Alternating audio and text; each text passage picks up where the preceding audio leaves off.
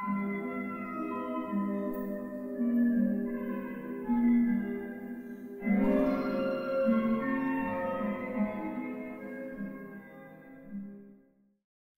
Helen Dilkes, artist jeweller researcher living in um, Melbourne, Victoria, Australia. A key focus in my work is on process, and I guess that is as an expression of the time and space of our being in the world.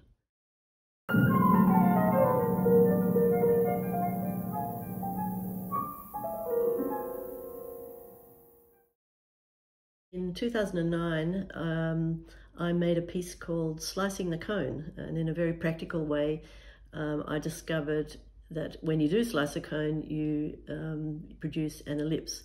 Uh, that absolutely fascinated me, and I've really been working with the ellipse in many different ways as part of my process in drawing pieces, in uh, constructing pieces.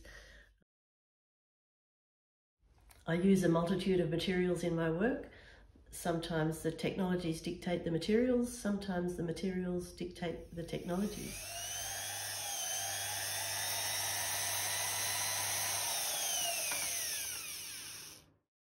I used residue materials like residue um, foils, residue acrylic sheet, residue silver, uh, residue precious metal dust, um, swept from my studio bench,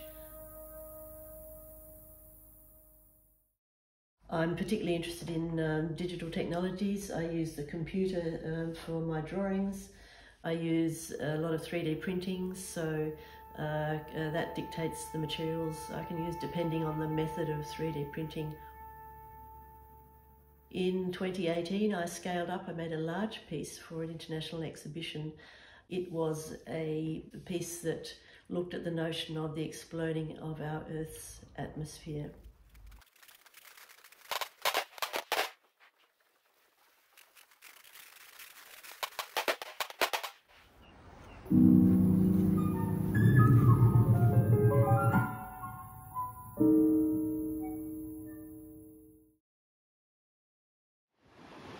I have a very local focus for my art jewellery practice, but I also take advantage of opportunities to submit to juried exhibitions internationally. I think Australian art jewellery practitioners are increasingly concerned about ethics of practice, how we do our work, who we collaborate with, what materials we use, how we work with others how we work with technologies. What technologies do we choose to use? What materials do we choose to use? It's all about how to make the best decisions for us and our planet.